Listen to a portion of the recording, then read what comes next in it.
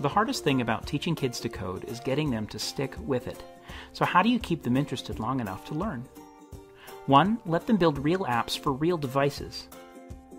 2. Provide a huge number of projects to choose from. And 3. Send them new projects every single month. That's Bitsbox, the coolness of coding real apps fueled by getting presents in the mail. This is how it works. Your kid gets a Bitsbox delivered to your house. She opens it up, looks through the materials, then chooses an app to build. On Bitsbox.com, she types in the app. Her code runs on a virtual tablet on the computer. To run the app on a real tablet, she just zaps the barcode on the screen. Boom! That's all there is to it.